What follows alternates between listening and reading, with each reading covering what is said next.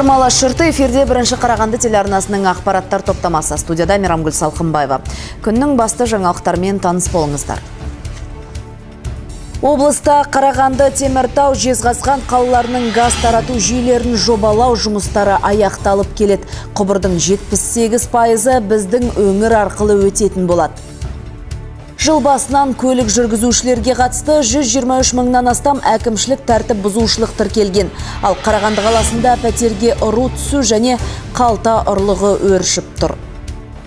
Елімізде алғаш рет аса күрделі омыртқа отасы жасалды. Енді ақ халаттылар бұл әдіспен арбаға танылған науқастарды аяқтарына тік тұрғыза алады.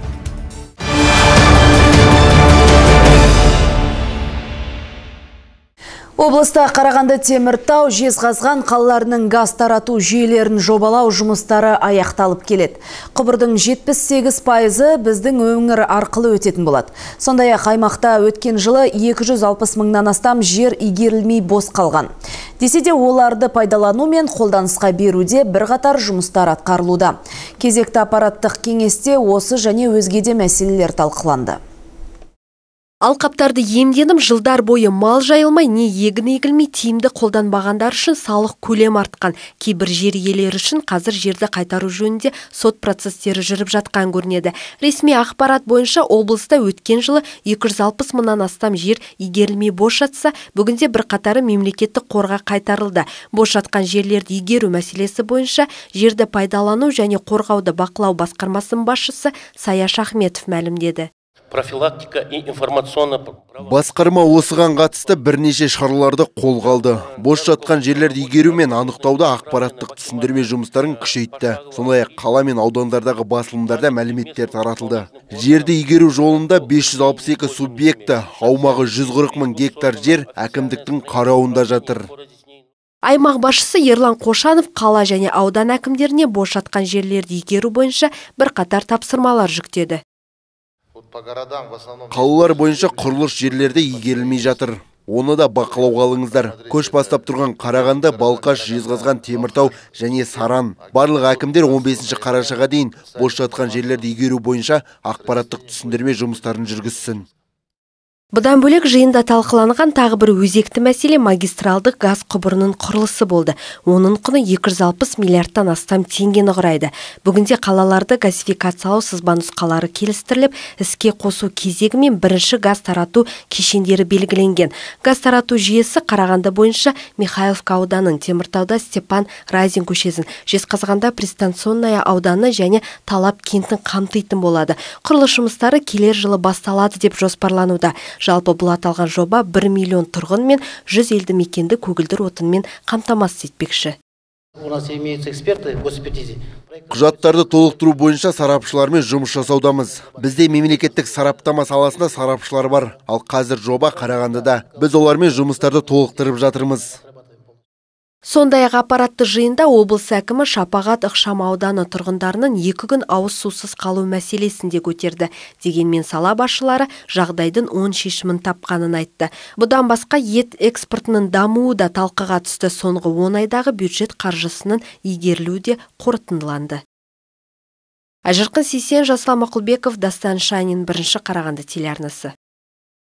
Енді балаларды үйден шықпай-ақ емханаға тіркеуге болады. Бұл егов KZ порталындағы телеграм бот көмегімен мүмкін болып отыр.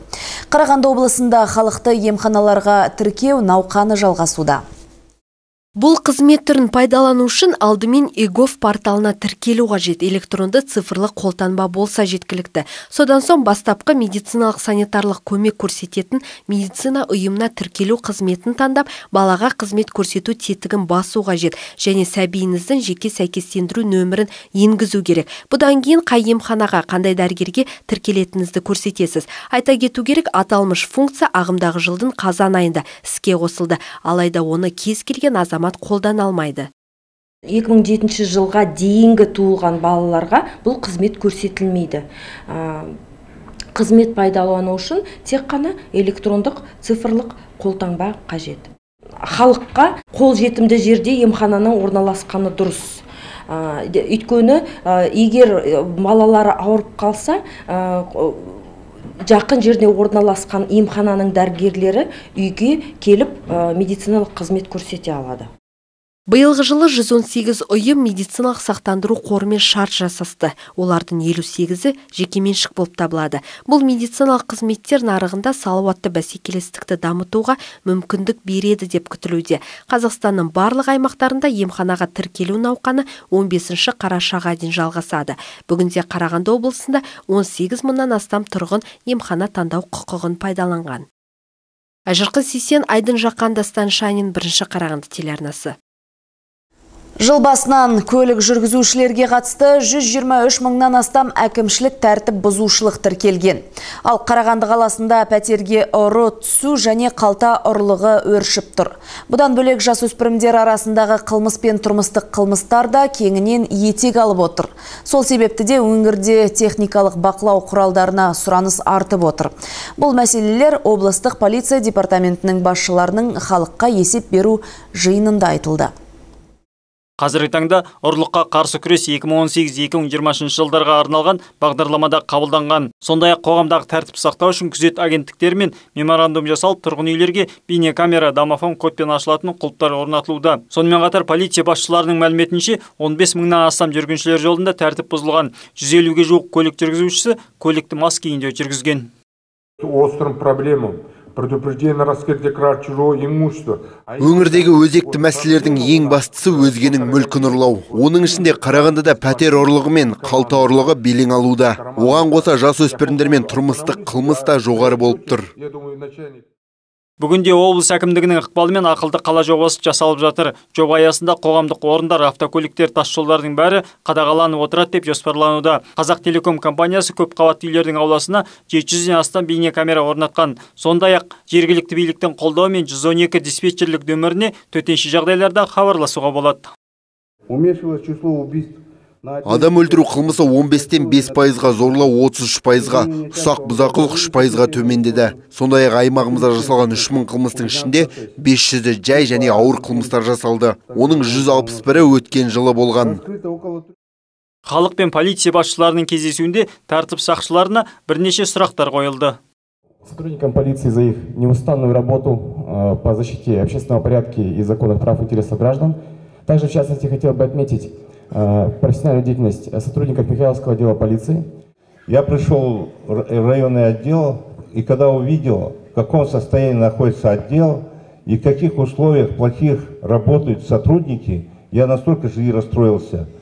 біздің үйдің алдында освещение бар бірақ видеокамера жоқ әр жыл сайын екі машина үш машина туланады постоянно биыл осы жақын арада екі машина тонап кетті видеокамера жоқтығы освещение бар а толқу жоқ енді бір айтайын деген бір сұрағым бар сіздерге общественник болып істеп жүрмін былтыр ептеген тиын сейін төледі биыл төлеймін бе төлемеймін бе биыл берген де жоқ біздің опорный өте жақсы жұмыс істейді солармен күндіз түні бірге қызмет істеймін облыстық полиция департаментінің басшысы барлық сұрақтарға жауап берді. Кездесуге тәртіп сақшыларымен бірге қала әкімі қалалық мәслихат хатшысы және нұр отан партиясы облыстық филиалы төрағасының бірінші орынбасары да қатысты. Жаңабек нар аманқожанов дастан шанин бірінші қарағанды телеарнасы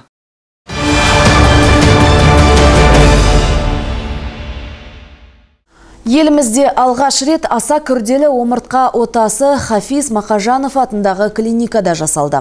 Осы мақсатта қаламызға Новосибирск қаласынан арнайы нейрохирург маман келіп, дәрігерлерге шеберлік сабағын өткізді.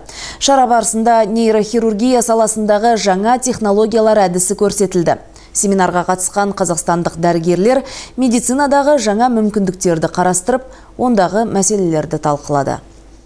Вот одно с другим наслаивается при сколиозе. У нас косая проекция вот этого. То ли мы вот такой снимок малоинвазивті транспедикулярлы конструкциясын орнату сагиталды баланс атты жаңа технология омыртқа дертін емдеп науқасын аяққа тұруына мол мүмкіндік береді.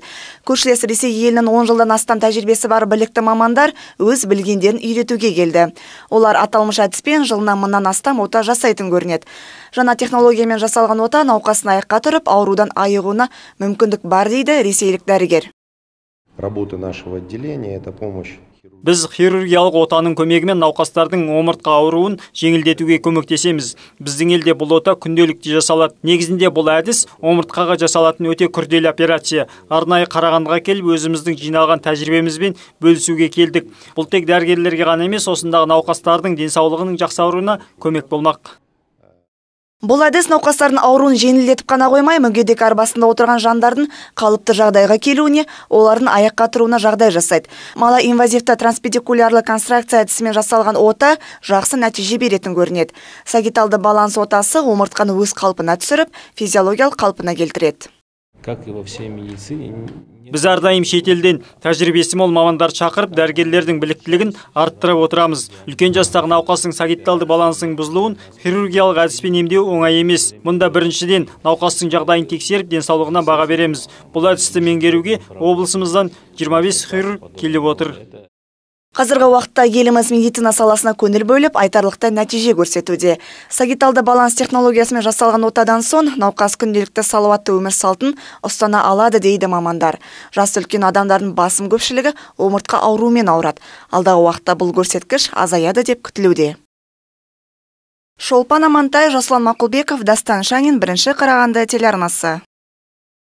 Жалынға толы Кавказ биі тау халқының өр рухын танытады. Қостанайда Кавказ халықтары мәдениетінің фестивалі өтті. Бұл шара биыл төртінші рет ұйымдастырылып отыр. Тау халықтары өкілдерінің астықты аймақтағы дәстүрлі бас қосуына қарағандылық өнерпаздар да қатысты.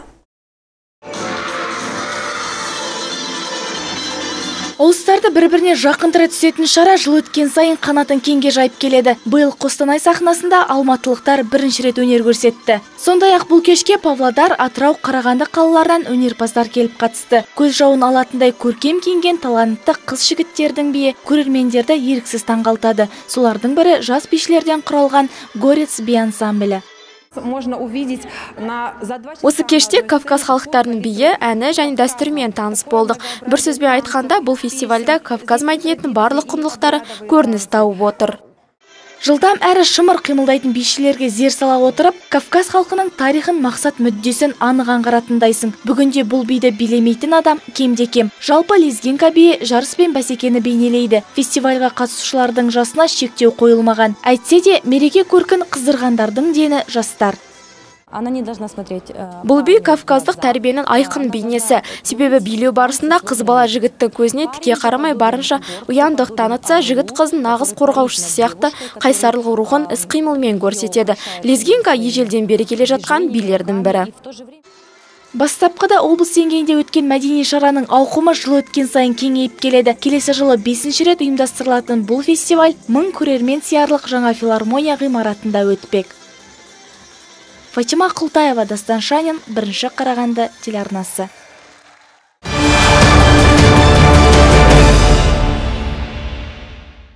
Сарыарқа командасы жоғарғы хоккей лигасындағы кезекті жеңісіне қол жеткізді. Бұл жолы кеншілер командасы Буран клубын алтыда бір есебімен ойсырата ұтып, 22 паймен турнирлік кестеде 17 орынға орналасты. Кездесудің бірінші минуттарынан бастап арқа жігіттері белсенділік таныта білді.